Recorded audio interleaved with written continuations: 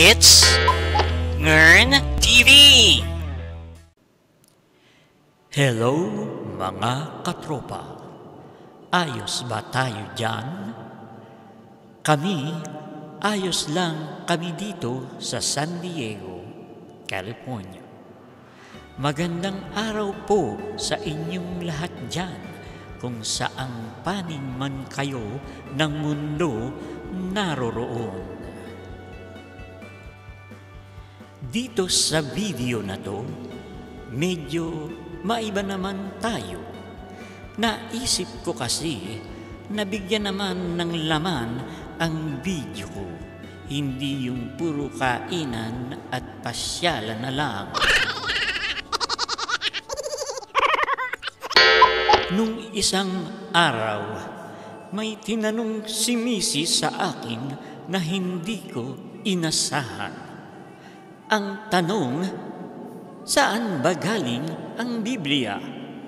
Magandang tanong, considering that it was coming from a middle-aged person.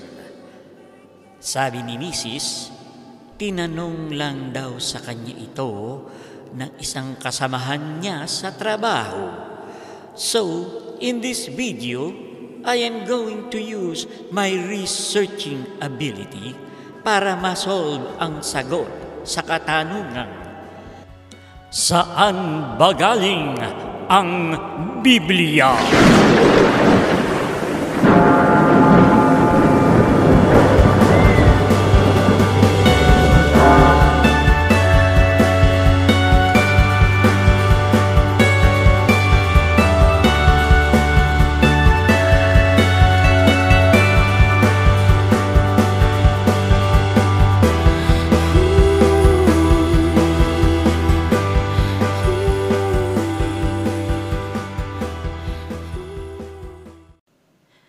Ang salitang Biblia na ating ginagamit bilang tawag sa Holy Book na ito ay nagmula sa mga Griego.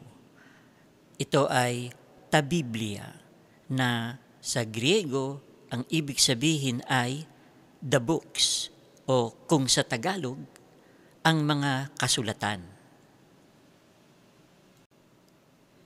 Ang Biblia ay isang transliteration, paglilipat ng wika from Hebrew and into Greek. At ang formal na tawag dito ay ang Septuagint. Masasabi pa natin na ang Septuagint ang unang Biblia na transliteration ng Hebrew Holy Scriptures na ginawa ng mga Greeks between 300 BC and 100 BC.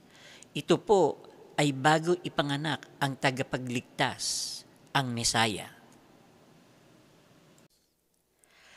Nung aking palalimin pa ang aking pag-aaral, napag-alaman ko na ang Septuagint pala ay hango sa Hebrew and Aramaic.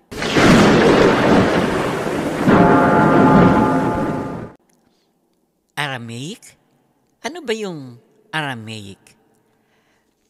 Ang Aramaic ay ang salita na dinala ng mga Persians na alam natin sa tawag na Pariseo o Pharisees sa Israel noong sakupin nila ito noong 6th century BC, around 600 BC. Nung sakupin ng mga Persians o Pariseo ang Israel, sinunog nila ang unang templo ni David at Solomon. Pinalayas nila ang mga Hebrews, mga Israelites, at itinapon sa isang lugar sa Persia. Inangkin nila ang mga paniniwala ng mga Hebrews. Nagpatayo sila ng second temple at inalis nila ang pangalan ng tunay na Panginoon sa mga kasulatan. Pinalitan nila at itinago ang tunay na pangalan ng may kapal. Dahil dito, ang bersyon na Aramaic ay meron ng bahid ng mga hipokritong pariseo na tinangkang babuyin ang Holy Hebrew Scriptures.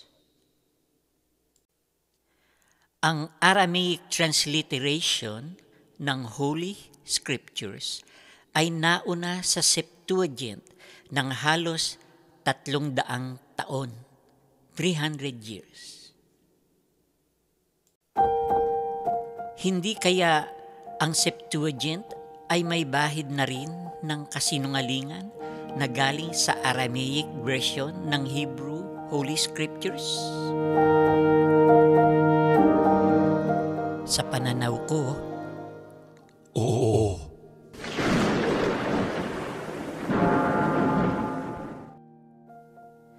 And so, ang sagot sa tanong na saan galing ang Biblia ay officially galing ito sa Holy Hebrew Scriptures.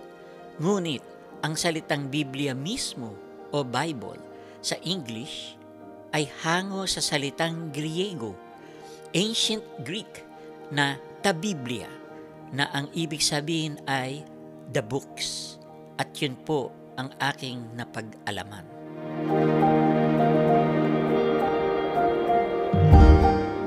Maglagay lang po kayo ng comments down below kung meron kayong gustong sabihin o itanong.